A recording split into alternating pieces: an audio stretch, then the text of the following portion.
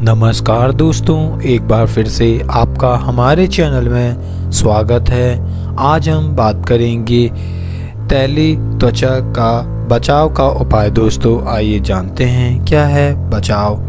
चंदन का पाउडर गुलाब जल में गूंद कर चेहरे पर लेप करें दोस्तों। चेहरे के धब्बे मिट जाते हैं, कील, मुहासे दूर हो जाते हैं। चंदन को लगाने से चेहरे पर दोस्तों और चेहरा निखार आता है।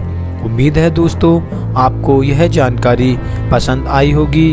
यदि आप हमारी वीडियो को YouTube पर देख रहे हैं, चैनल को सब्सक्राइब करें। वीडियो को आप फेसबुक पेज पर देख रहे हैं। पेज को लाइक करें। धन्यवाद दोस्तों।